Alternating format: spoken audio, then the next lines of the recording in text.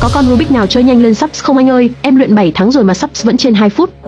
Ok, có ngay một con 3 x 3 giá học sinh mà chất lượng phụ huynh đây. Gan 356 RS được mút 5 châm. Nhắc đến gan thì thương hiệu quá nổi tiếng rồi. Rõ nhất là phần màu sắc tươi sáng, sắc nét, bề mặt khi sờ cảm nhận được độ nhẵn trơn mịn dài mé. Phần turning nhanh mượt, được mút 5 châm nên chắc chắn turning rất ổn định, tiếng xoay êm, không nghe rít rít, các góc rất mượt mà. Ai mà chuyển từ Rubik giá rẻ lên gan thì phê chữ E kéo dài. Ngoài ra còn có Rubik RS 3M với giá dễ chịu hơn mà chất lượng cũng thuộc hàng siêu phẩm, màu sắc tươi sáng, sắc nét, bề mặt trơn được chám một lớp nhám nhẹ để bám tay hơn. Phần kết cấu chân cạnh và chân góc được thiết kế bằng nhựa Primary và được giảm bớt phần nhựa của chân góc nên turning rất nhẹ. Hai dòng trên đều rất dễ tiếp cận đối với những cuber đam mê Rubik mà ví tiền học sinh. Chúc các em thành công trên con đường luyện sắp. Ngày 10 tháng 10 đang có đại hội săn sale giảm giá sâu, hàng trăm loại Rubik và free ship mọi đơn hàng. Nhanh tay ghé shop để quẹo lựa cho mình Rubik phù hợp nhất nha.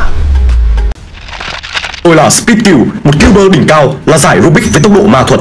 Thử thách ngày hôm nay là giải đồng thời hai tay, hai Rubik dưới 1 phút. Đây là một thử thách khá thú vị và lần đầu tiên tôi thực hiện. Tôi sẽ sử dụng hai scramble khác nhau. Ok, let's go!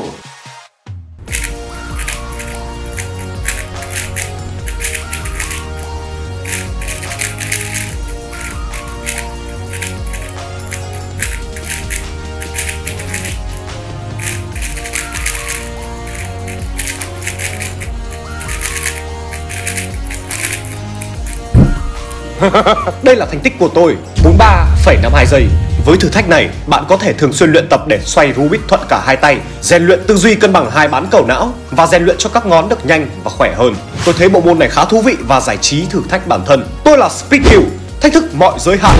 Speedkill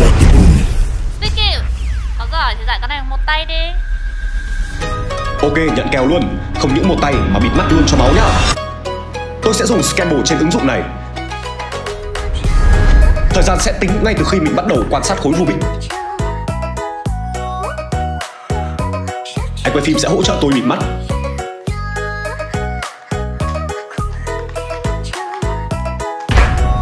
Yup, đây là thành tích của tôi, 11 giây 80 năm.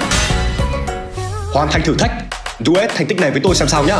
Tôi là Speedkill, thách thức mọi giới hạn. Agenslo terkuat the bumi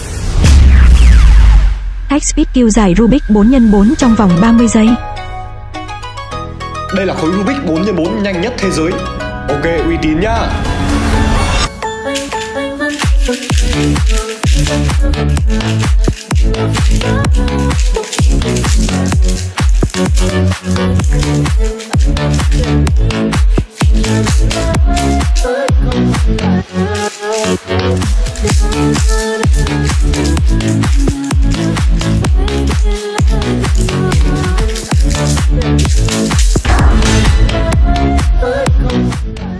Phẩy 92 giây. Đố gì khó hơn đi nhá. Tôi là Speedkill Thách thức mọi giới hạn. Có giỏi thì giải cục trên đầu đi. Ok, đợi đấy.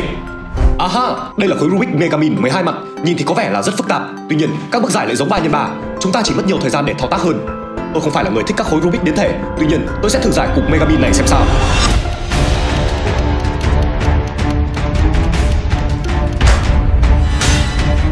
Ồ, oh, lần đầu có vẻ hơi phèn với 1 phút 26 giây. Tôi sẽ thử thêm một lần nữa.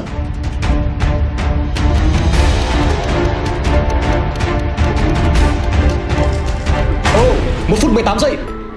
Tôi đã rút ngắn được 8 giây. Kỷ lục thế giới hiện do một cuber người Peru nắm giữ với thành tích 27 giây 22. Đây thực sự là một thử thách siêu khó mà chưa ai có thể thực hiện ngay cả khi làm lại phần scramble. Còn bạn giải được khối Megamin này trong bao lâu? Hãy cho tôi biết nhé. Tôi là Speedkill, thách thức mọi giới hạn.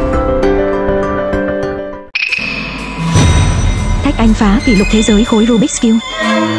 Ok, Người xác lập kỷ lục giải khối skill là một cuber người Úc với thành tích 0,93 giây vào năm 2019. Áp dụng phần Scramble của kỷ lục thế giới để xem tôi có thể thực hiện được dưới 0,93 giây hay không.